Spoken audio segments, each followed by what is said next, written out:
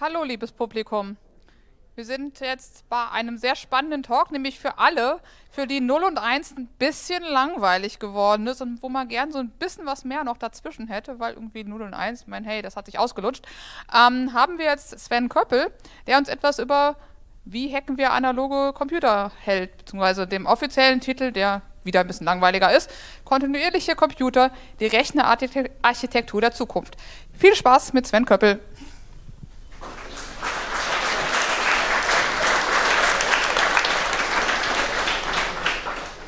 Ja, hallo. Ähm, danke, dass ihr alle so zahlreich erschienen seid. Ich spreche heute über was, das ist irgendwie schon so im Publikum mal da. Da steht es auch nochmal, analog steht schon drin und trotzdem habe ich ihm einen anderen Titel gegeben und Hacken ist jetzt auch noch dazu gekommen. Mal gucken, worüber wir heute alles sprechen können, wofür die Zeit reicht. Ähm, ich hoffe, ihr hattet bislang eine schöne GPN. Es ist ja super spannend, was es für tolle Projekte hier gibt und was man alles sieht. Und es dreht sich ja von vorne bis hinten eigentlich immer um Digitalisierung, um digitale Datenverarbeitung und alles, was wir mit Computern machen können.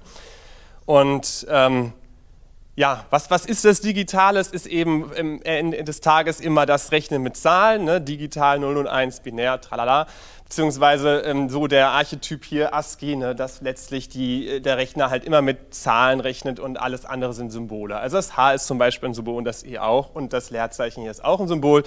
Und letztlich Symbole oder ähm, quasi Platzhalter für irgendwelche komplexeren Sachen, Bilder oder so, die kodiert werden in Zahlen. Ich glaube, das muss ich dem Publikum hier nicht erklären.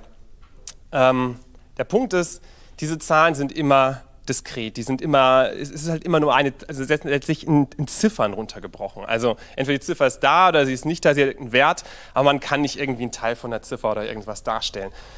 Und ein unglaubliches, äh, ja, wenn man sagt, das, ähm, das Ergebnis von Jahrzehnten von Softwareentwicklung und Softwarearchitekturen ist das halt irgendwie so weit zu abstrahieren, zu verschleiern, dass wir das halt de facto ähm, diesen Kontinuumsübergang schaffen. Ne? Und wenn man sich jetzt irgendwas auf dem Computer anschaut, so eine schöne Linie hier, oh toll, Sinus, dann, äh, dann sieht das einfach smooth und sauber aus und ja, klar, der Computer kriegt das ja irgendwie hin. Ne? Dass der Computer natürlich in Wirklichkeit hier irgendwie 50 Stützpunkte hinlegt und dazwischen dann interpoliert und das halt dann algorithmisch mit beliebiger Genauigkeit auch ausrechnen kann, ist, steht dann auf einer anderen Seite. Also auf einem Level von Datenverarbeitung allerdings, also nach dem Motto Datenakquise zum Beispiel oder, Messwerteverarbeitung, also wenn ich jetzt wirklich von, von Daten spreche, so im reinen Sinne, dann sind Daten und bleiben Daten eigentlich immer das, was hier auf diesen roten Punkten dargestellt ist. Also sie bleiben immer diskret. Und ähm, da kann man jetzt ein bisschen picky sein und sagen, ja gut, aber dieser Sinus ist ja doch irgendwie ganz da.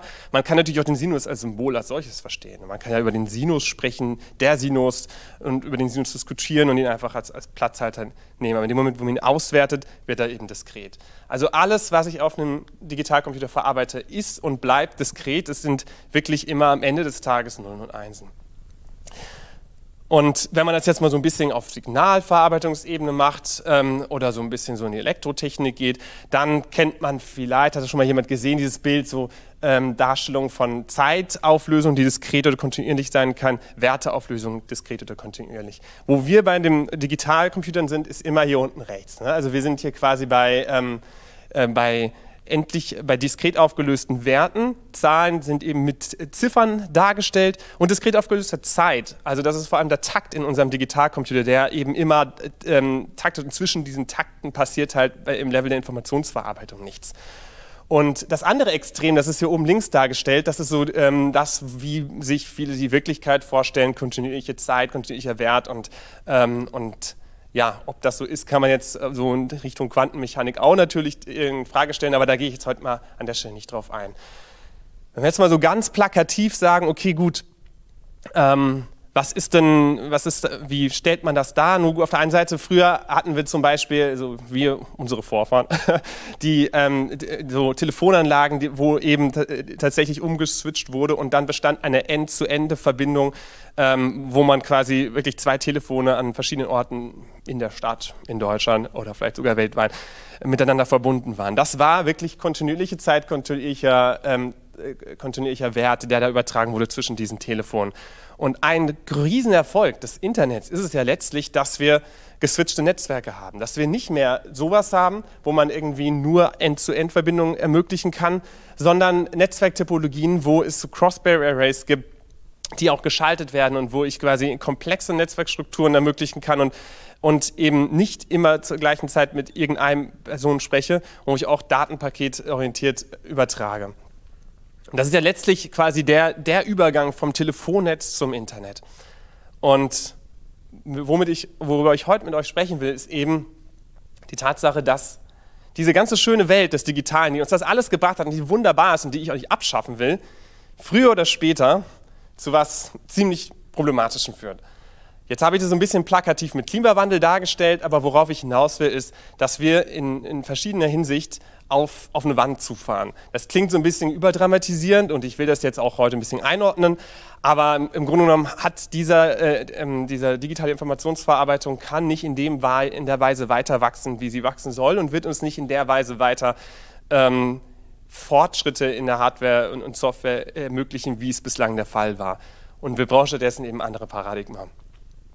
Naja, zunächst möchte ich einmal darauf eingehen, warum, wo ist denn nun das Problem im, im Kern eigentlich da? Also, und das ist ganz banal gesagt, warum wird eigentlich mein Handy heiß?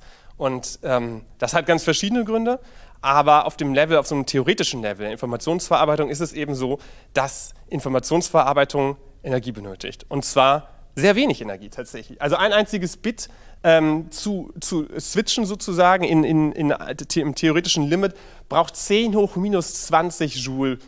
Das sind also eine Zahl, wo man eine 0 und dann 20 Nullen und dann irgendwann kommt erst eine 1. Oder hier in dem Fall eine 3.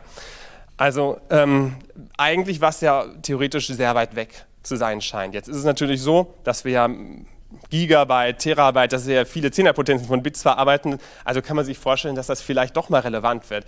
Aber eine, eine Sache, die hier dargestellt ist, ist eben, ähm, wir, wir haben halt letztlich auch bei so, sowas wie CMOS-Baustein immer Leckströme, Dinge, die wir, äh, die halt nochmal on top kommen, die, die sich auch da nicht, nicht äh, weg, ähm, ja, wie sagt man, durch technologische, ähm, technologischen Fortschritt ähm, wegdiskutieren oder wegentwickeln lassen. Und beispielsweise ähm, wenn man mal so einen, so einen Schaltkreis, also das Schalten selber, wenn, in dem Moment, wo ich wirklich ein Bit ein- oder ausmache, dann kann man das vorstellen, als ob ich hier jetzt in einem traditionellen Schaltkreis, hier sag mal auf CMOS, ob ich wirklich einen Schalter auf und zu mache. Und jedes Mal entlade ich de facto entweder hier einen ohmischen Widerstand oder eine Kapazität. Und, ähm, im ohmischen Widerstand ist es klar, da entsteht Wärme direkt und bei der Kapazität entsteht äh, Wärme zum Beispiel durch sowas wie parasitäre ähm, Widerstände.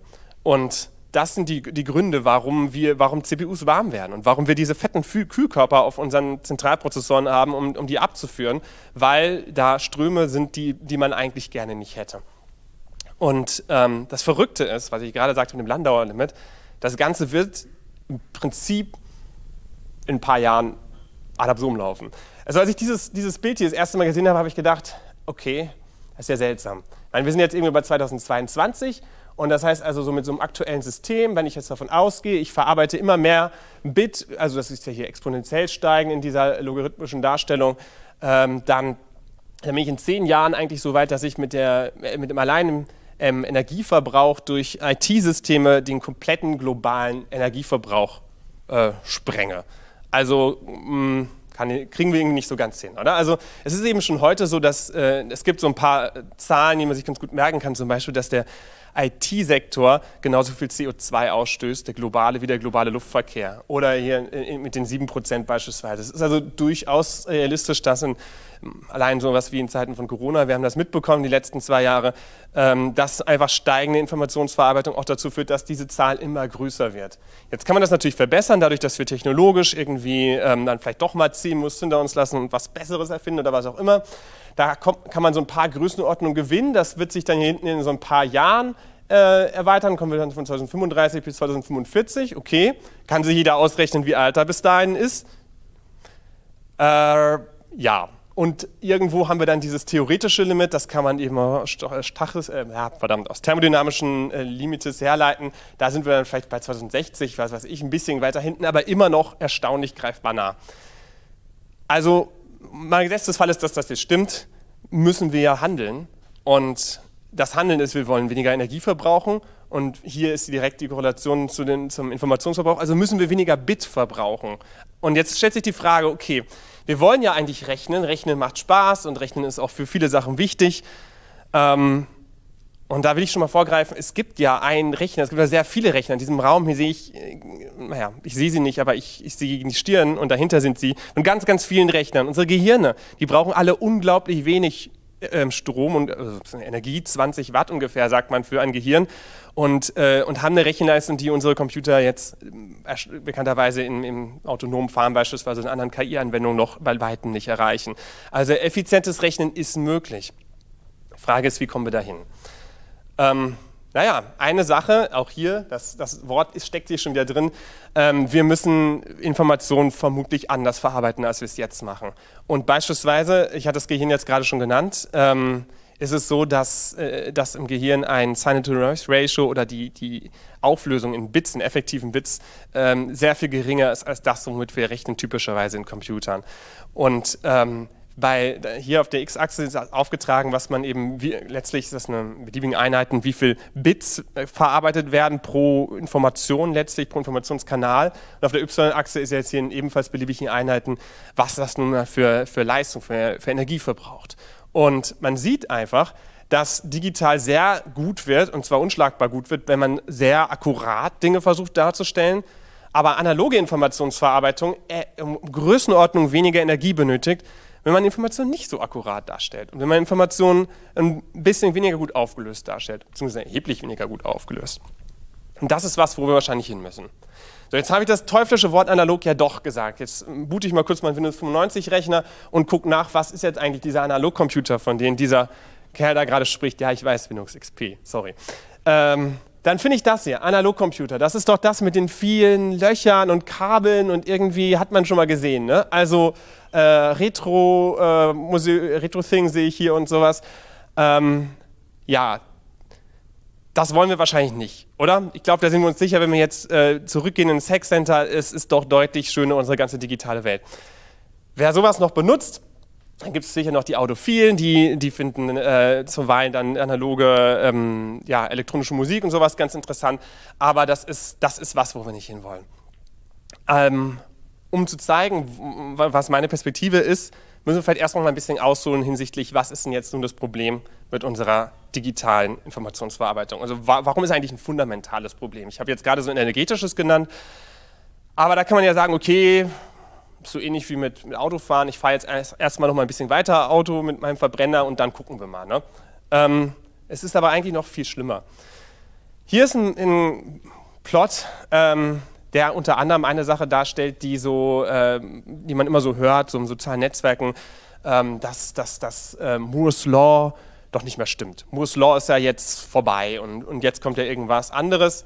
Tatsächlich ist Moore's Law immer noch genauso gut da wie vor 40, 50 Jahren. Also das ist ja die Aussage, dass die Anzahl der Transistoren sich innerhalb von einer fixen Zeitspanne verdoppelt, also ein exponentielles Gesetz vorliegt und das ist bis zum heutigen Tag noch sehr gut da. Wir sehen es beispielsweise in Speichern. Speicher werden immer, kannst immer mehr speichern auf einem, auf einem Chip. Die Dichte nimmt immer weiter zu. Es funktioniert nach wie vor.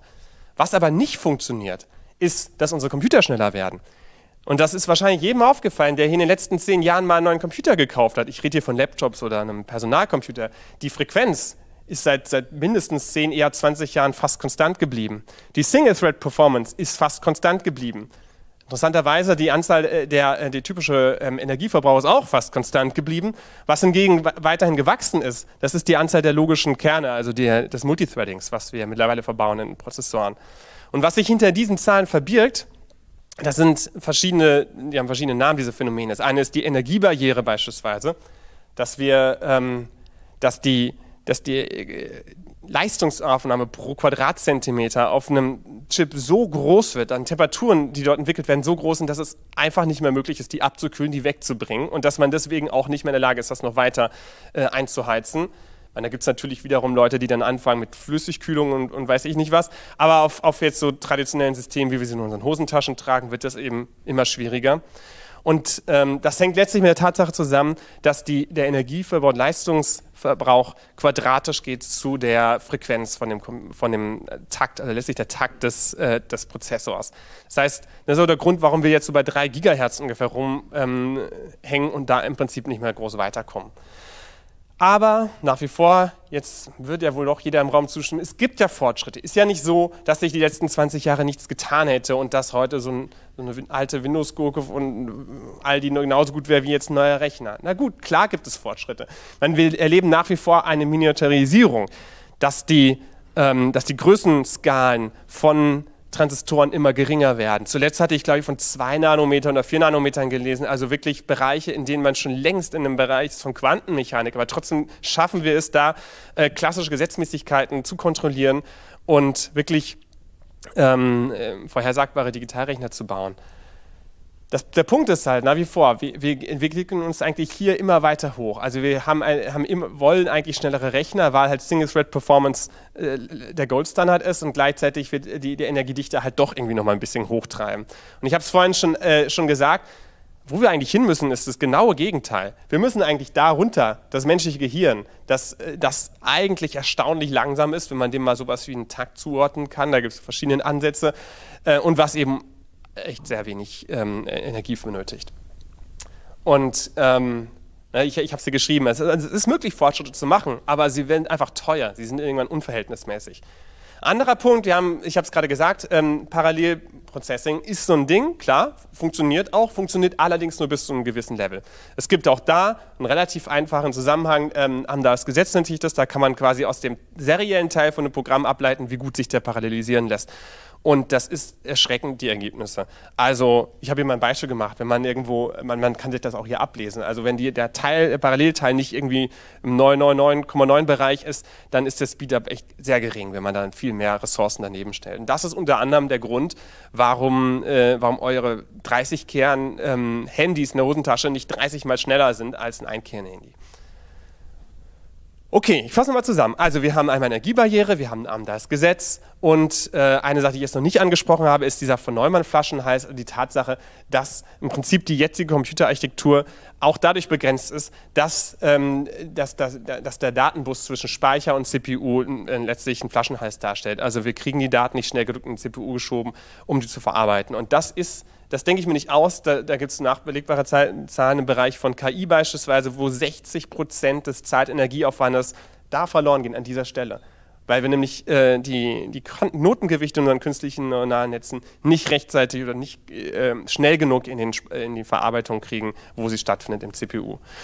Und natürlich gibt es auch Möglichkeiten, im Digitalen sich hier weiterzuentwickeln. Ich meine, diese Architektur hier ist nicht in Stein gemeißelt. Es gibt seit Jahrzehnten andere Dinge, beispielsweise GPUs, streamorientierte Prozessoren, Vektorprozessoren, ähm, die ein grundsätzlich anderes Layout haben und auch sehr effizient funktionieren. Oder beispielsweise FPGA, Field Programmable Gate Arrays, wo man äh, mit programmierbarer Logik die Möglichkeit hat, überhaupt ganz eigene Computerarchitekturen zu entwickeln, die beispielsweise so ein Streaming-System ähm, beinhalten. Was man damit schafft, ist, man kann grundsätzlich mehr Parallelisierung ähm, implementieren, ähm, wenn man das mit das Gesetz hinbekommt. Okay. Was man nicht schafft, ist die Energiebarriere, beziehungsweise den Takt. Also ähm, diese Systeme sind eben nach wie vor in unserem ähm, Diagramm, wo wir vorhin waren, ähm, digital in der Zeit, digital in, in der Wertedarstellung, voll diskret. Und das heißt, wenn man da eben jedes Mal ähm, Schalterchen umlegen muss, hat man eben immer wieder diese Abwärmeprobleme die Verarbeitung von Informationen kostet eben wirklich Energie. Und deswegen, mein Plädoyer, wir müssen halt weg vom Digitalen, so leid mir es tut. Schön ist digital und ich will auch jetzt nicht die Digitalisierung in Abrede stellen, im Gegenteil, wir wollen ja weiter digitalisieren, aber wir wollen es in einer Art und Weise, dass Wachstum möglich ist. Wir wollen ja noch mehr KI, aber dann muss die KI auch das liefern, was sie liefern äh, kann und soll. Und ähm, ich bin nicht der Einzige, der, der, diese Vorschläge hat. Es gibt einen ganzen Bereich, einen ganzen wissenschaftlichen Bereich, nennt sich exotische Rechenarchitektur, Exotic Computing. Und da gibt es ganz viele Ansätze. Beispielsweise gibt es Quantencomputing, so das Ding. Ne? Ist ja auch ein Quantencomputer dargestellt. Das ist ja mittlerweile auch ein sehr großer Bereich, wo ganz viele Leute dann forschen. Fundamental andere Konzepte. Man, man nutzt die Möglichkeiten und die Gesetzmäßigkeiten der Quanten, des Quantencomputings, Überlagerung oder Verschränkung. Okay, wenn man nicht ganz so fancy ist, wäre man jetzt zum Beispiel im Bereich von Sventronic oder ähm, photonisches Rechnen. Das geht so in Richtung, dass man noch mal ein paar mehr quantenmechanische Eigenschaften ausnutzt, aber tatsächlich klassische Logik implementiert. Ist ein Stück einfacher, wenn man so einen Informatik-Background hat und sich nicht grundsätzlich komplett neu ähm, umorientieren muss, kann man also, wie gesagt, klassisch ähm, und, und vorhersagbar programmieren. Ähm, dann hatte ich ja gerade schon viel über das Gehirn gesprochen. das Ganze fasst man oft gerne zusammen unter dem Begriff Neuromorphic Computing, also letztlich so ein bisschen Bioengineering. Ich baue einen Computer so wie das menschliche Gehirn, idealerweise Vermengung von Speicher- und Recheneinheiten, ist so der, läuft unter dem Begriff äh, Computational Memory, wird dann auch wieder gerne mit solchen Dingen wie Memristoren, also nochmal Konzepte, die das Ganze auch effizient umsetzen, gibt es halt noch nicht so richtig. Ähm, oder beispielsweise, was über das ich heute reden will, was das verstaubte äh, Rechnersystem von Opa war, was ich vorhin gezeigt habe, das klassische Analogrechnen. Was man halt sagen muss, all diese Dinge haben eigentlich gemeinsam, außer dem klassischen Analogrechnen, dass sie grundsätzlich Grundlagenforschung sind und dass sie grundsätzlich sehr viel auch Materialforschung oder viele Sachen von verschiedenen Disziplinen beheimaten. Und das Verrückte ist, dieses klassische Analogrechnen, was ich hier vorschlage, hingegen, ist 50 Jahre alt, ist verstanden und muss eigentlich nur noch im Schrank holen. Also machen wir das mal. Beziehungsweise, ähm, wir haben das gemacht bei uns mit Bernd Ullmann, das ist so der Analogrechner Papst hier in Deutschland und der hat diesen Rechner hier gebaut. Das ist der Analog Paradigm Model 1. Und das ist ein nach traditionellen Maßstäben mit Patchkabeln und allem, wie man das so von Analogrechnern früher kennt, gebauter Rechner, der aber moderne Technologie verwendet, also SMD-Bausteine, höhere Grenzfrequenz und so weiter. Und ähm, dieser Rechner, ähm, ja, also was ich dazu sagen muss, namensgebend ist eben nicht die Tatsache, dass da analog ähm, Signale verarbeitet werden, also tatsächlich kontinuierlich in Zeit und Wertedarstellung, das, was, ja, was wir immer so mit analog assoziieren, sondern namensgebend ist tatsächlich die Analogiebildung, die mathematische Analogie. Wir sind ja also hart so in dem Bereich von äh, Modellbildung und Wissenschaftsphilosophie unterwegs. Also wir müssen eigentlich immer ein mathematisches Modell finden, was passt zu einer elektronischen Schaltung und finden also quasi letztlich zu einem, äh, einer mathematischen Formulierung dann den elektronischen Schaltkreis. Das Besondere ist, wir machen hier indirekte Analogien, das heißt, wir bauen unsere Analogien aus kleinen Blackboxen nach. Dazu erzähle ich gleich noch ein bisschen mehr. So ein Analogrechner ist intrinsisch parallel. Das geht gar nicht anders. Der ganze Rechner rechnet gleichzeitig zur gleichen Zeit. Das ist ein großer Schaltkreis, der ist an und alles läuft. Das heißt, da gibt es keine Algorithmen, die irgendwie nacheinander in Takten irgendwas durchrechnen, sondern es passiert einfach alles gleichzeitig, was da drin läuft. Das ist fundamental anders als in jedem Digitalrechner. Ähm, das Ding ist extrem energieeffizient dadurch, dass halt tatsächlich mit Strom gerechnet wird und nicht dadurch, dass es was anderes repräsentiert und man dann eben äh, fixe Einheiten davon beispielsweise hin und her schickt. Und ähm, zu guter Letzt, ich hatte es gerade schon gesagt, kontinuierliche Zeit, kontinuierlicher Wert. Die Abwesenheit von Takt sorgt eben dafür, dass wir hier nicht ständig ähm, Energie, äh, quasi Energie sinnlos verbraten, dass wir irgendwie Taktzyklen durchiterieren.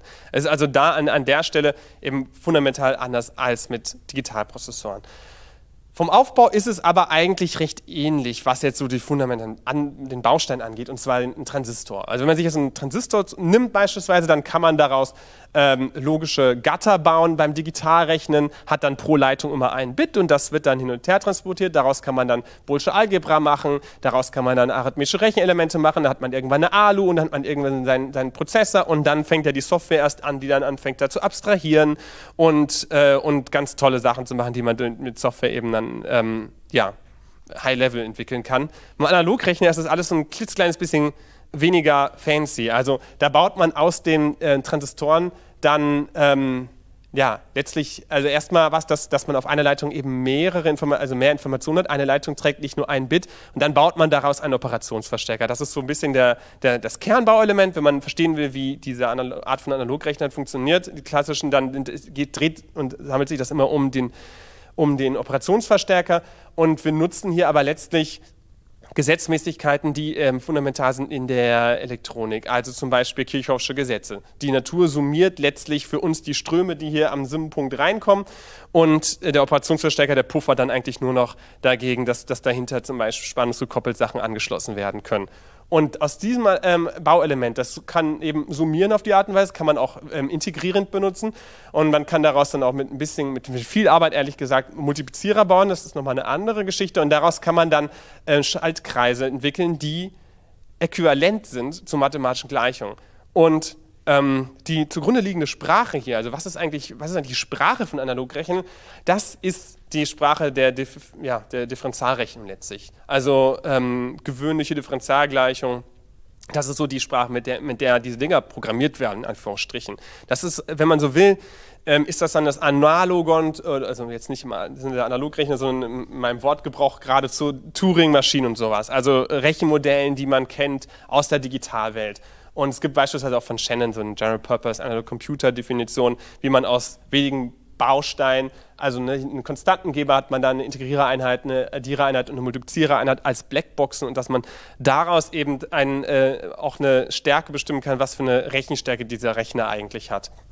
Und ähm, es ist eben ne bemerkenswert, das Einzige, wo hier eigentlich gespeichert wird, also ähm, wo hier Information vorgehalten wird, ist beim Integrierer. Das ist der Einzige, der, eine, ähm, der einen Zustand intern hat. Der integriert nämlich einfach das, was bei ihm anliegt, über die Zeit. Integration ist sowas ähnliches Summierung, nur kontinuierlich. Und, äh, und da liegt im Prinzip Information an, aber sie wird eben kontinuierlich verarbeitet. Das heißt eben nicht so wie beim Digitalrechner, wo sich ein Kondensator eben blitzartig entlädt oder auflädt.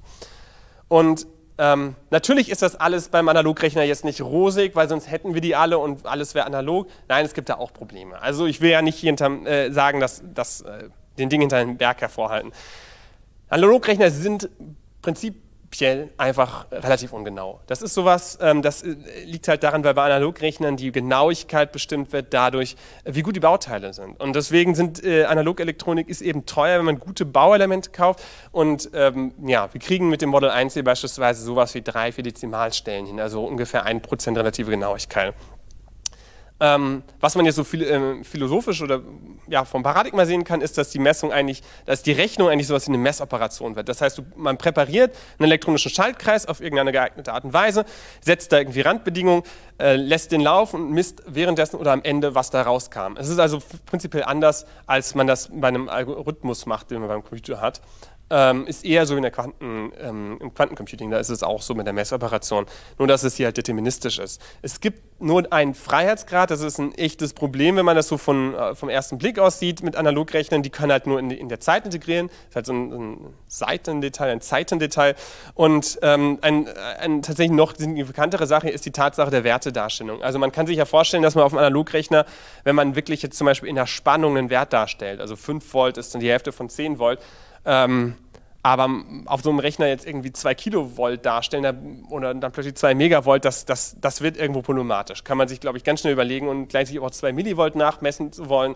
Ähm, man hat halt, also man nennt das so in der Elektrotechnik Bounded-in, Bounded-out-Probleme, dass man halt ähm, de facto in einem endlichen Intervall rechnet. Zum Beispiel plus minus 10 Volt oder sowas oder vielleicht auch ein anderer Pegel plus 5 Volt bis plus 15 Volt.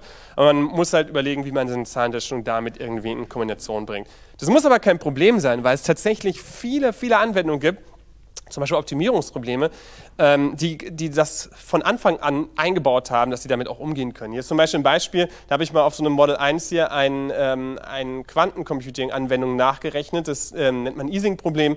Und da haben wir im Endeffekt gekoppelte Oszillatoren, ein Oszillatornetzwerk. Eine wunderbare Sache, funktioniert ganz toll auf elektronischen Analogrechnern und hat von der Zahlendarstellung a priori erstmal überhaupt gar kein Problem. Okay, also mal ein äh, kurzes Beispiel, wie man eigentlich so ein Ding programmiert. Jetzt so mit den Blackboxen, ich habe ja schon gesagt. Ne? Sprache ist so die, äh, die, die, Sprache der Differentialgleichung. Das ist jetzt hier, ähm, y ist ein Signal in der Zeit, y von t, Punkt, Punkt heißt zweite Ableitung. Das ist ein typischer harmonischer Oszillator hier. Den schreibt man in geeigneter Weise um und dann wendet man eben so Regeln an, dass man aus der Differentialgleichung eine Integralgleichung macht. Zweimal integrieren, gibt einem diese Integrierer hier, die man hintereinander schaltet. Am Ende muss man noch ein Minus machen, das macht man hier mit so einem Summierer. Die äh, die Dinge haben alle implizite Negationen drin, das am Rande. Und dann macht man einen Trick, der äh, sich Kelvinscher, äh, äh, Kelvinscher Substitutionstrick oder sowas, dass man letztlich dann sagt, ah, ich habe hier y und das ist ja durch die Gleichheitszeichen das gleiche wie y Punkt Punkt, dann, dann kann ich einfach sagen, das ist, die, äh, das ist der gleiche Spannungspegel und kriege auf diese Art und Weise einen, einen Schaltkreis, der geschlossen ist und der eben tatsächlich relativ schnell relaxiert zu der richtigen Lösung und dann eben sich auch richtig in der Zeit entwickelt. Das heißt, was rauskommt, ist dann eben auch tatsächlich ein Sinus, wenn man es auf Oszilloskop legt, irgendwo dann hier sein Messgerät dranhält und gegen, ähm, gegen Ground misst. Und, ähm, und an, man kann das natürlich jetzt auch ein bisschen genauer machen mit Anfangswerten oder wie auch immer. Dann kriegt man, das ist so die typische Sprache, in der wir die, diese ähm, Schaltpläne hinzeichnen. Also man, sieht ja, dass es ein bisschen anders aussieht auf, ähm, in diesen Blackboxen als sonst mit Schaltplänen, wo man jetzt wirklich noch in Ground sehen würde und sowas. Ähm, Aber das springt jetzt hier an der Stelle den Rahmen. Worauf ich eigentlich eingehen möchte, ist, wofür ist das Ganze denn jetzt nun gut? Ich habe ja so ein paar Beispiele genannt, gerade auch schon mal so ein bisschen Quantencomputing erwähnt und das Gehirn.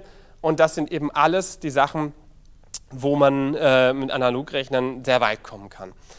Ähm, erstmal das erste Beispiel, Gehirn. Also prinzipiell ist jetzt die Frage, ja, ist das Gehirn jetzt digital oder analog? Mhm, na gut, es gibt zumindest mal erstmal die Beobachtung, ähm, dass es im Gehirn gewisse, äh, also dass es sich eher so verhält wie ein Analogrechner mit, seinen, mit einer hohen Vernetzung, mit einfachen Rechenelementen im Gehirn, den Neuronen, die wenig Informationen verarbeiten, die das komplett parallel machen, die irgendwie sowas wie spannungsgekoppelt sind. Viele, viele ähnliche Eigenschaften zu dem, was Analogrechner machen.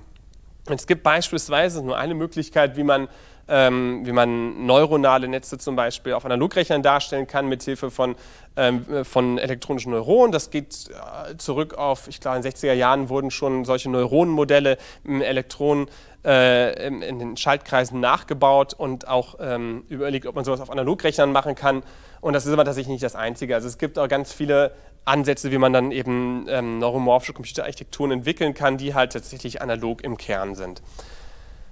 Wofür ist es interessant? Natürlich, dass wir sehr große ähm, neuronale Netze auf Analogrechnern effizient lösen können und zwar welche, die wir auf Digitalrechner eben nicht in der Geschwindigkeit oder mit dem Energiebudget hinbekommen. Und es gibt tatsächlich Anwendungen und Firmen beispielsweise und aber auch Arbeitsgruppen an Universitäten, die sowas machen. Ein Beispiel ist die amerikanische Firma ähm, Mythic AI, die hat zum Beispiel einen Chip entwickelt, der hat 600 Millionen künstliche Neuronen in dieser Art und Weise in so einer Floating Gate ähm, ähm, quasi in Memory Computing ähm, gebaut und es funktioniert. Und es ist schnell und es verbraucht wenig Energie. Also das ist, äh, es passiert de facto schon, was ich hier erzähle. Ein anderes Beispiel ist Quantencomputing. Ähm, habe ich ja ein bisschen erzählt. Es ist jetzt mal wäre so alleine für sich ein Vortrag für sich, jetzt über das Quantencomputing zu sprechen. Also funktioniert ja, wie ich vorhin schon gesagt habe, da braucht man dann Verschränkungen, hat eben grundsätzlich, ähm, ich sage es anders. Was steht denn hier? Ähm, es steht, nichts, okay, ich improvisiere. Also, ähm, es gibt drei fundamentale Eigenschaften bei Quantencomputing. Das eine ist Überlagerung, also Superposition, weil die zugrunde liegenden Gleichungen der Quantenmechanik linear sind. Das andere ist Verschränkung und das ist eben sowas äh, wie die Tatsache, dass ich, ähm, dass ich bei einem Messprozess, wo ich einen Kollaps von der Wellenfunktion habe, eben instantan auch weiß, was die Belegung von anderen ähm, Quantenvariablen ist und das dritte, was man jetzt in dem Bunde nennen könnte, wäre beispielsweise instantane Fernwirkung, geht in die ähnliche Richtung. Ich glaube, ich habe es vergessen. Ist aber nicht so wichtig, denn Analogrechner können eigentlich alles außer verschränken. Und ein schönes Beispiel, wo man Analogrechner benutzen kann, ich hatte es ja gerade schon genannt, ist zum Beispiel im Bereich von adiabatischen Quantencomputern. Die äh, adiabatische Simulation für, zur Lösung von Optimierungsproblemen kommt eigentlich aus der algorithmischen Entwicklung von klassischen ähm, Rechnertechniken aus den 60er Jahren und kann man aber sehr gut analog machen, weil man da eben nicht diese ganzen Probleme hat, dass ähm, von einem algorithmischen Ansatz, einem speicherbasierten Ansatz. Und ich hatte vorhin einen Rechner gezeigt, der das kann. Ähm, läuft unter dem Stichwort Annealer und der Vorteil, wenn wir Annealing machen im klassischen, also im Simulated Annealing ist, wir haben echte Qubits quasi, also ideale Qubits, wo wir nicht irgendwie Fehlerkorrekturen ähm, machen müssen wir können viele davon machen. Wir haben nicht die Begrenzung durch ein Quantenvolumen. Alle diese Probleme, die man hat auf Quantencomputing, ähm, wo es eben bislang, also es gibt ja viele Skeptiker, die zum Beispiel der Meinung sind, dass diese Annealing-Maschinen von D-Wave in Wirklichkeit eigentlich nur klassische Analogrechner sind, weil sie es halt nicht schaffen, ähm, die quantenmechanischen Eigenschaften über den erforderlichen Zeitraum aufrechtzuerhalten. also deswegen mein Claim hier, Analogrechnen kann schon sehr viel hinsichtlich Quantencomputing. Man könnte sich also tatsächlich überlegen, ähm, viele Quantenalgorithmen, ähm, die keine Verschränkung benötigen, davon gibt es einige, ähm, auf klassischen Analogrechnern zu machen. Es ist, es ist ganz verrückt. Es ist im Zuge der Quantencomputing-Entwicklung einfach vergessen worden, wenn ich das mal so plump behaupte, dass es mal sowas wie Analogrechnen gab. Ähm, wir machen das jetzt in Ulm, hier in Baden-Württemberg, zusammen mit dem Deutschen Zentrum für Luft- und Raumfahrttechnik, dass wir in einer großen Initiative zum Thema Quantencomputing von der Bundesregierung ähm, Analogrechner entwickeln. Klassische Analogrechner, keine Quantenanalogrechner, sondern klassische, weil wir, und das wird uns geglaubt, eben, ähm, sorry, ich hoffe, es ist stimmt, äh, mit den Analogrechnern viel können. Wir müssen es beweisen, wir sprechen uns ein paar Jahre nochmal wieder. Ähm, aber es gibt noch mehr. Also zum Beispiel die Frage, was können Analogrechner jetzt auf so einem komplexitätstheoretischen Level? Also ich hatte es ja vorhin schon mal so ein bisschen angedeutet, es gibt eben Leute, die das glauben, zum Beispiel Haber Siegelmann, ist glaube ich an irgendeiner amerikanischen Ivy League Universität, die der Meinung ist, ähm, dass Analogrechner prinzipiell einer anderen, also klassische Analogrechner, deterministische Analogrechner einer anderen Komplexitätstheorie angehören als Digitalrechner und sich damit irgendwo auf halbem Weg zu, ähm, zu der Rechnern ähm, Fähigkeiten von Quantencomputern beispielsweise bewegen, was interessant sein könnte für, für solche Probleme, für Verschlüsselungsknacken, wenn ich das jetzt mal so, so dumm sage. Wir, wir nähern uns langsam dem Thema Hacken, ich merke es. Also es äh, könnte jetzt sagen, was kann man mit dem Analogrechner hacken? Ja, vielleicht.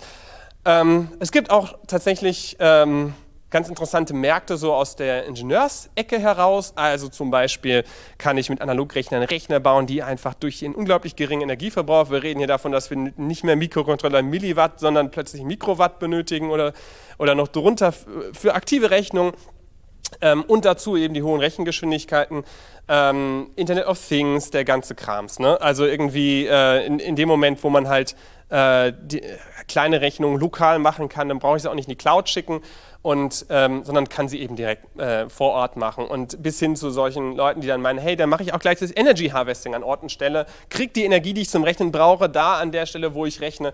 Da gibt es Ideen, da Herzschrittmacher draus zu machen oder Insulinpumpen oder, oder äh, ja, irgendwas für Reifen. Okay, ähm, es gibt sehr viel. Ähm, ich habe noch ein bisschen Zeit, ich erzähle einfach noch ein bisschen mehr. Ähm, ich habe ja gerade was gesagt zum Model 1. Wir bauen diesen Analogrechner. Wenn ihr wollt, könnt ihr euch das mal durchlesen auf unseren Webseiten. Eine Sache, mit der wir heute hier angekommen sind, ist ein Open-Source-Rechner. Ähm, der heißt The Analog Thing. Eigentlich würde man ja nicht Open Source, sondern Open Hardware sagen hier. Ähm, das ist eine kleine Version von diesem Rechner, den ich gerade gezeigt habe der einfach, äh, da wo wir an vielen Stellen versucht haben, so was abzusägen, was halt sonst einfach sehr teuer ist, das ganze Gold zum Beispiel. Und äh, ihr lacht nicht, es ist äh, hier, die, diese, diese ganzen Stecker sind eigentlich alles so Goldsockel, die das Stück irgendwie 2, 3 Euro kosten. Und wenn man sie halt weglässt, spart man halt mal eben 100 Euro. Und dann ist der ganze Rechner halt auch irgendwie plötzlich in einer ganz Grö anderen Größenordnung. Und, ähm, und diesen Rechner da haben wir auch dabei, der steht da vorne, im, also haben davon zwei Stück stehen, die in dem Hack Center stehen ähm, wo, man, wo wir ein Manual geschrieben haben. Es liegt auch dabei, wo man mal mit dem Rechner äh, reinkommen kann in das analoge Paradigma, also wirklich ein bisschen patchen kann und gucken kann, wie sich das anfühlt, wie das funktioniert. Ähm, das hat jetzt hier zum Beispiel Potentiometer, an dem man drehen kann. Da kann man dann eben Konstantenwerte einsetzen. Hat aber auch Schnittstellen, um in die ganze Tinkering-Szene zu kommen. Also man kann ein Arduino anschließen, Raspberry Pi anschließen, an Hybrid-Controller, Schnittstelle, wo man noch nicht mal eine Pegelwandlung machen muss, wo wir direkt CMOS-Pegel raus geben und wir geben auch Audiopegel raus. Man kann da direkt mit einer RCA ähm, zum Beispiel dann Adapter an sein ähm, Handy oder ähm, Laptop oder sowas, falls man noch eine schöne 3,5 mm Klinkenbuchse hat, reinpacken. Oder äh, man muss eben sich eine billige Soundkarte kaufen. Aber der Punkt ist, Soundkarten gibt es für 20 Euro auch richtig gute. Ähm, Oszilloskope fangen halt selber bei 300 Euro ungefähr an, wenn sie zumindest einigermaßen taugen. Und dann ähm, und der Rechner ist halt in so einem größten Segment. Wir wollten also wirklich hier die, die, die Einstiegsbarriere möglichst weit äh, senken für Ausbildung, für Lehre, äh, ja, letztlich auch für sowas wie Hacking-Bereich. Ähm, Jetzt wäre der richtige Moment zu fragen, ob man das Ding hacken kann. Das Witzige ist, dieser Rechner hier ist komplett analog. Da ist kein Mikroprozessor drin. Da ist tatsächlich, wenn man so will, digital nur die, die Flusssteuerung drin. Also es gibt eben im Betrieb von Analogrechnern jetzt letztlich im Zusammenhang mit den Integratoren Betriebsmodi, die steuert man hier unten über so einen Drehschalter. Dahinter sind so ein paar digitale ICs. Handvoll. Aber ansonsten ist das Ding komplett analog. Ähm, ich zeige mal kurz, was so drin ist, also was das jetzt so hat. Also man kann die eben integrieren, hatte ich ja vorhin schon erwähnt, was Integratoren sind eben handvoll drauf. Summierer sind vier Stück drauf, Inverter fünf, zwei Multiplizierer äh, und ganz viele andere Sachen. Was man halt bedenken muss, bei analog ist es eben so, dass die, die Rechenelemente, die man hat, physisch hat, also hier in der Hand halten kann, die, ähm, die nutzt man ja, um seine mathematischen Gleichungen darauf abzubilden. Das heißt, ich kann mit dem Ding hier genau zwei Sachen multiplizieren miteinander. Ich kann nicht irgendwie äh, fünf Multiplikationen, dann brauche ich drei mehr von diesen Dingern hier. Ich kann damit genau vier Summen bilden. Also das muss man sich auf der Zunge zergehen lassen, wenn ich irgendwie auf meinem Laptop oder in meinem Handy irgendwie Python starte, dann kann ich damit deutlich mehr als vier Summen bilden.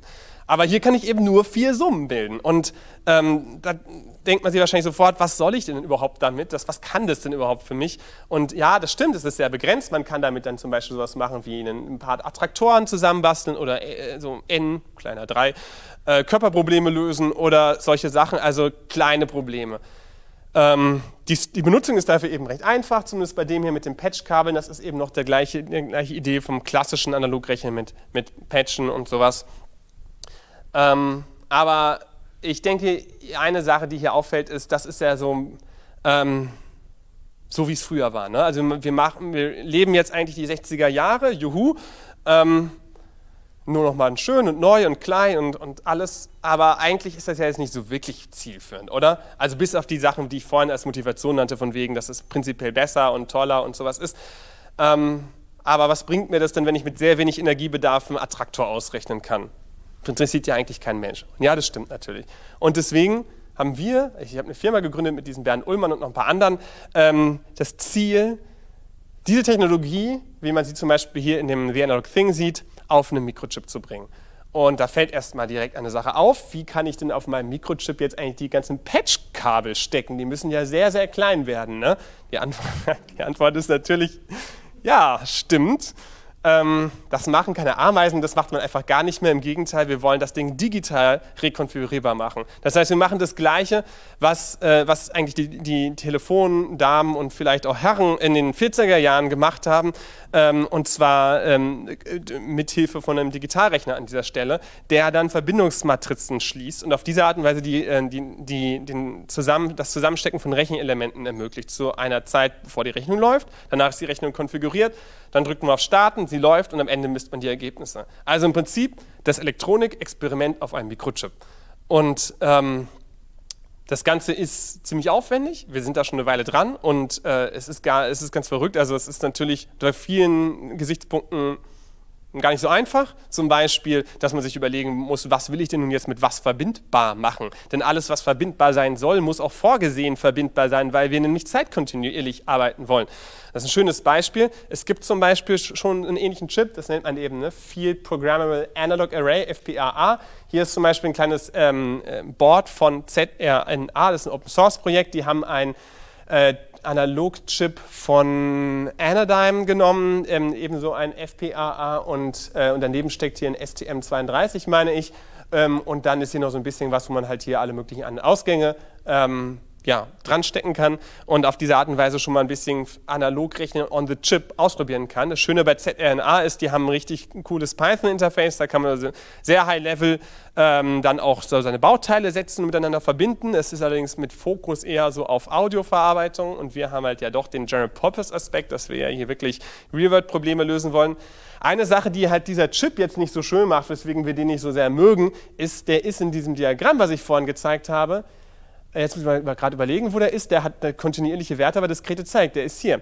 Der ist nämlich getaktet. Er hat eben doch wieder einen Takt und der Takt liegt letztlich in der Verbindungsmatrix, wo sie eben ähm, die, die Rechenelemente äh, also es nicht während der Rechnung schaffen, alle Rechenelemente miteinander zu verbinden, die verbunden sein sollen, sondern halt dann ähm, umkonfigurieren. Und das ist also so, es ist halt so halb analog. Ne? Ich meine, die Werte sind, sind zwar schon mal kontinuierlich, aber der Rest ist diskret. Das heißt, was sie mit dem Chip insbesondere nicht so richtig gewinnen, ist den geringen Energieverbrauch, zumindest nach unseren Maßstäben. Ich sage immer unser, ähm, damit meine ich, wir machen das halt mittlerweile als Firma, ähm, weil, ja, weil es sehr teuer ist, Chips herzustellen. Ähm, wir sind aber nach wie vor nicht die Ersten, die sind nicht die Ersten. Es gab tatsächlich vor sechs Jahren, sechs, sieben Jahren die, ähm, im akademischen Bereich die ersten Entwicklungen, einen modernen Analogrechner nach dem indirekten Analogieprinzip als General Purpose Computer ähm, auf den Chip zu bringen. Da gibt es ganz verrückte Arbeiten von Doktoranden, äh, zum Beispiel Ningguo, der, der sowas einfach mal durchentwickelt hat während seiner Doktorarbeit. Ähm, und äh, ja, die haben ihre eigenen Begrenzungen, sind aber super interessante ähm, Studien, wenn man sich mal durchlesen will, wie sowas funktioniert. Die ist auch öffentlich verfügbar. Ähm, ich will noch mal kurz erzählen, wie man so ein Ding jetzt eigentlich programmiert. Also so ein Chip, wie wir uns das vorstellen, wie man den benutzt. Ähm, dazu mache ich als Beispiel jetzt ein, äh, ein, ein, vorab so ein Hello World aus der Numerik, also aus dem wissenschaftlichen Rechnen. Ähm, das ist jetzt so ein bisschen, ähm, ja, speziell, weil es nicht die Art ist, was vielleicht für die meisten Leute Programmieren bedeutet, aber exerzieren wir es mal durch. Sagen wir mal, man möchte eine Differentialgleichung lösen. Wir fangen schon damit an. Ne? Nicht jeder will eine Differentialgleichung lösen. Aber falls wir eine lösen wollten, wäre das unser erster Schritt. Dann äh, würden wir die vielleicht nochmal umschreiben, dann würden wir die diskretisieren. Das ist immer der Punkt. Also die, äh, die Kontinuumsphysik oder in anderen Bereichen wird halt immer erstmal durch den Diskretisierer gejagt und dann bleibt, wird es eben im ersten Moment eine, eine Approximation in Zeit und in räumliche Darstellung und so weiter. Außer mein Integral ist eine Summe geworden. Und dann programmiere ich das Ding, weil dann habe ich einen algorithmischen Zugang dazu. Dann weiß ich, ich muss die Summe irgendwie ausrechnen, die da steht. Und wenn ich die Summe ausgerechnet habe, kann ich einen Schritt weiter gehen und ähm, ja, hier, rechne, hier, wo ist denn hier eigentlich die Summe? Äh, Im Prinzip mache ich, mache ich hier die Summe, genau, in so einer Vorschleife, so schön. Ich glaube, der Code kompiliert sogar.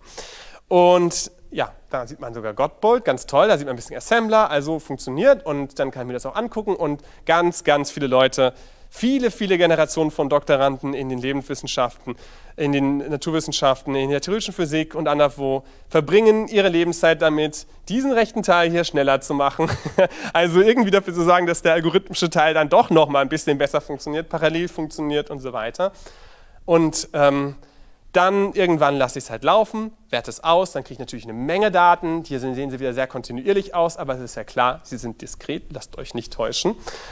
Und, ach, das war's, sorry. Ja gut, das war's. So, okay, Story fine. Ähm, ab hier übernehmen die Wissenschaftler, weil dann gucken die sich mal, und Wissenschaftlerinnen gucken sich mal an, wie man den ganzen Kram auswertet und so. Ne? Ich habe ja jetzt hier ein Computerexperiment gemacht. So, das Gleiche, so wie es hier steht, kann man jetzt eben auf 1 zu 1 auf einem Analogrechner abbilden.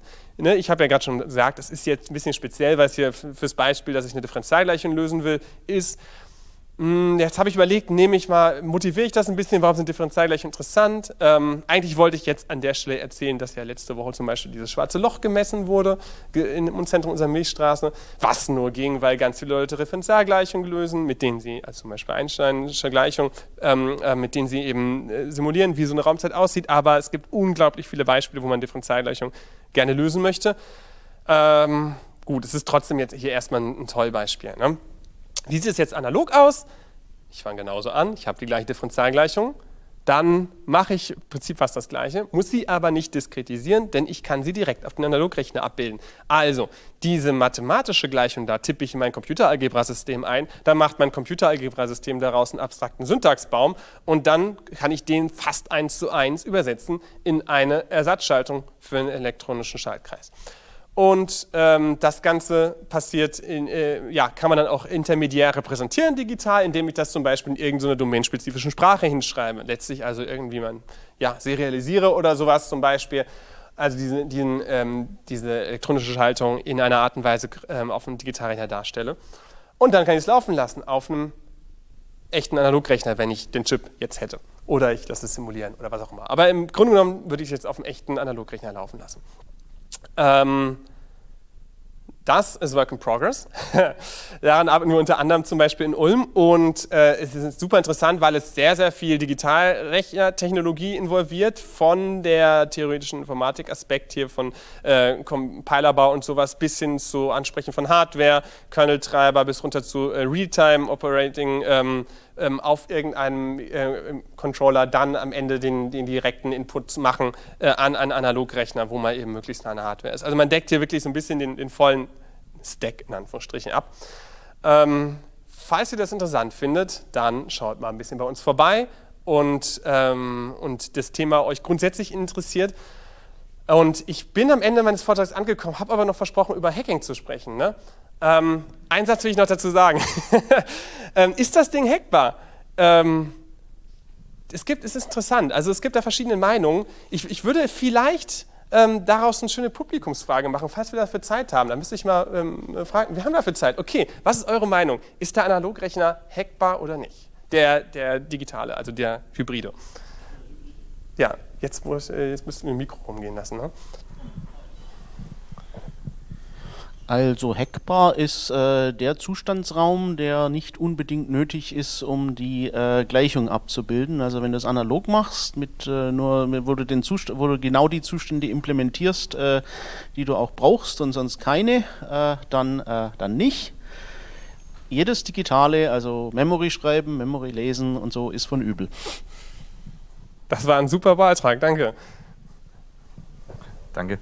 Also ist, ist ja die Frage, was die, die, die, Definition von Hacking ist. Und also ich sehe das als kritisch-schöpferischer Umgang mit Technologie.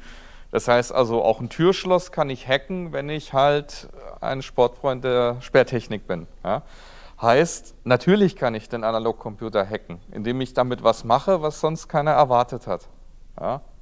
Ja, guter Punkt. Ich meinte es tatsächlich ein bisschen jetzt so äh, unter dem Security-Kontext. Aber ja, ist schön. Will, will, noch jemand dazu was sagen? Oder wir können auch eine Fragerunde machen. Das war jetzt gerade so eine gemogelte Fragerunde. Also, ähm, ich, ich, persönlich ja. würde mal einen großen Magneten irgendwie ins Spiel bringen. schön, ja.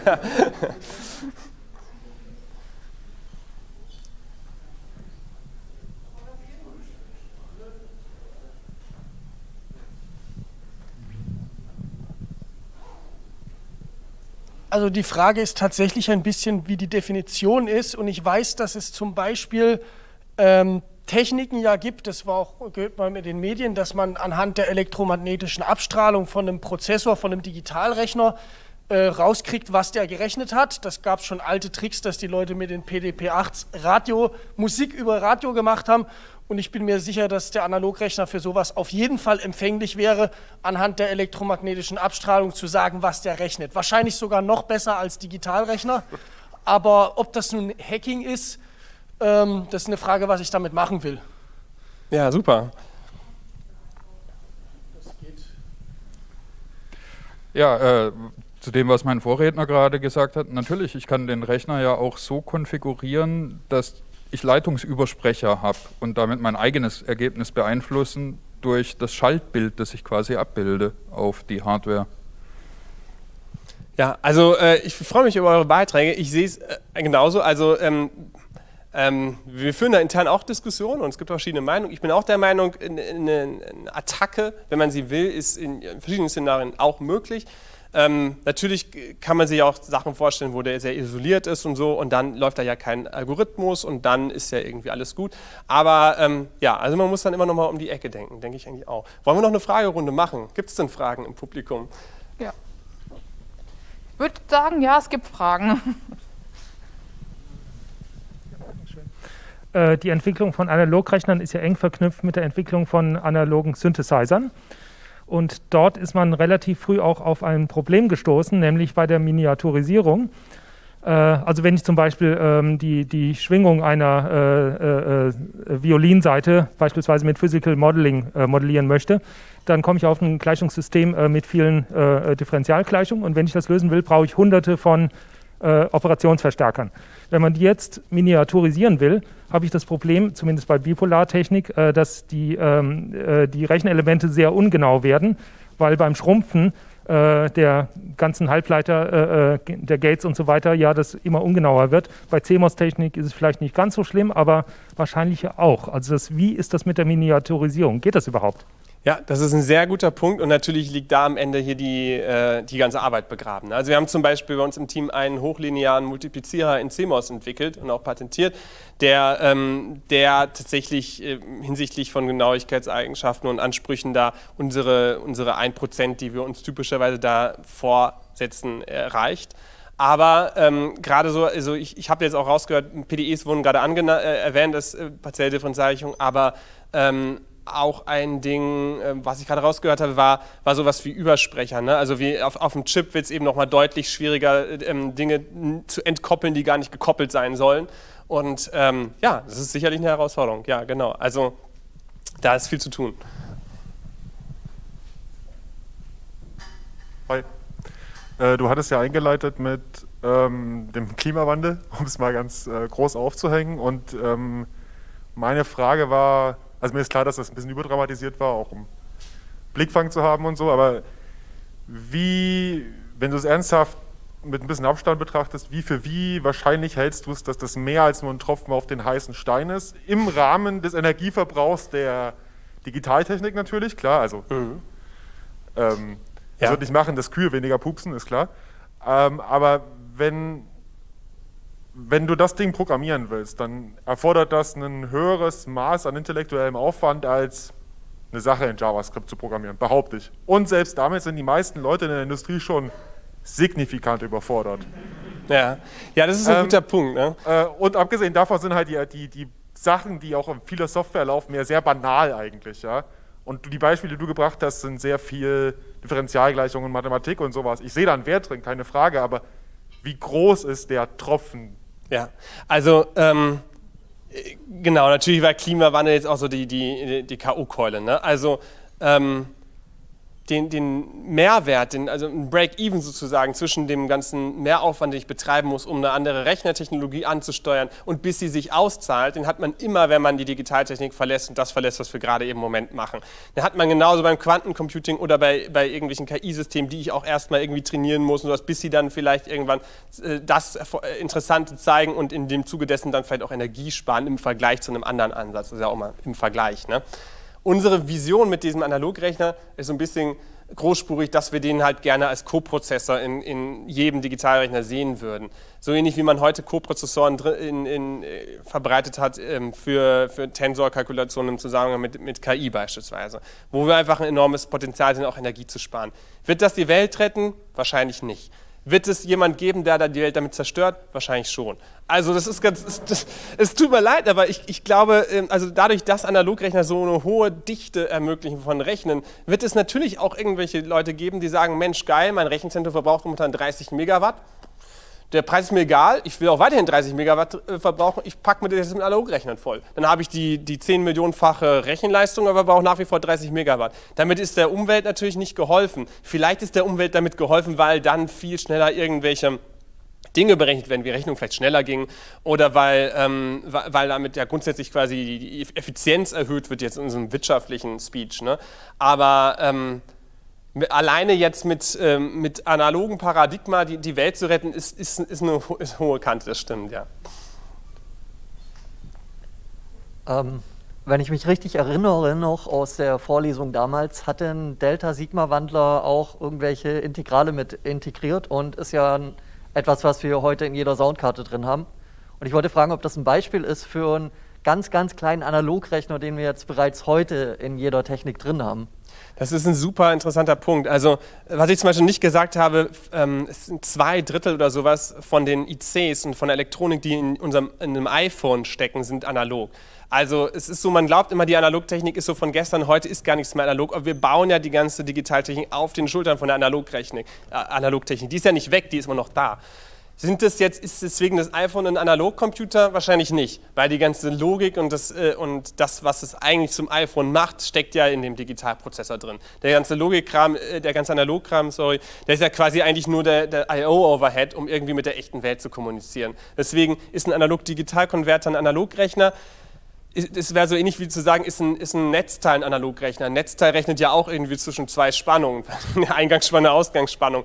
Aber ähm, man, kann, man kann sicherlich ähnlich ein paar äh, Gedenken dran gehen, aber ich würde es nicht als Analogrechner bezeichnen. Aus leider aktuellem Anlass ähm, habe ich die Frage, sind Analogrechner grundsätzlich robuster gegenüber elektronischer Kriegsführung? Ja, das ist schön, jetzt gerade im Kontext mit den Beiträgen, die wir gerade eben schon hatten. Ne? Also ähm, Analogrechner sind prinzipiell ähm, mit Umwelteinflüssen, äh, also deutlich sensibler gegenüber Umwelteinflüssen. Das ist ja gerade das Problem, weil Digitalrechnen ist super robust. Also so ein ähm, 0 und 1 irgendwo ähm, halt ja, zu manipulieren, ist dann doch mal ein bisschen schwieriger, als wenn man nur ein kleines bisschen beitragen muss, um einen Wert zu verändern. Ähm, was auf der anderen Seite eben äh, entsprechende Countermeasures erfordert. Ne? Ich würde, diese, ich würde diese Frage auf gar keinen Fall mit Ja beantworten. Also ich glaube nicht, dass Analogrechner deutlich besser sind gegen, gegen Angriffe. Im Gegenteil, sie sind jetzt, äh, äh, wenn man jetzt solche Sachen anspricht, wie sie vorhin erwähnt wurden, hier im Publikum wahrscheinlich deutlich äh, sensitiver. Ihr könnt euch jetzt entscheiden. Eine Frage haben wir noch. Ich habe eine Frage. Ähm, der Analogrechner, der ist ja prinzipiell anfällig gegen Umgebungsbedingungen. Wie sieht es sozusagen mit der numerischen Stabilität gegenüber Umgebungsbedingungen aus? Wenn der Rechner in einem Raum steht, der 5 Grad wärmer ist, habe ich dann ein anderes Ergebnis? Ja, auch eine super Frage. Ähm, es gibt da mehrere Sachen. Also zum einen jetzt den Begriff Stabilität, der ist definiert einmal in der Numerik ähm, hinsichtlich des Lösungsverhaltens von Differentialgleichen und man kann ihn auch in ähnlicher Weise ähm, definieren in der Systemtheorie, also in der, in, in der Art und Weise, wie man dann die Stabilität von elektronischen Schaltung untersucht. Das ist jetzt eine rein theoretische Untersuchung. Da kann man dann sagen, okay, das verhält sich zum Beispiel gut oder das ist richtig und ähnliches. Ähm, eine andere Sache ist, was sind die Umwelteinflüsse, die die Charakteristika der Bauteile verändern. Also das, da haben wir einfach in der Praxis bislang noch nie erlebt, dass wir irgendwie eine neue Kalibration oder ähnliches von den Analogrechnern machen mussten, die wir haben. Aber wir sind mit dem Ding weder über den Atlantik gesegelt noch auf den Himalaya gestiegen. Und dementsprechend ähm, ist das ja, ich sag mal, dafür gibt es Datenblätter. Ganz doof. Also die, die sollte man sich dann genau durchlesen. Ja, danke Sven Köppel.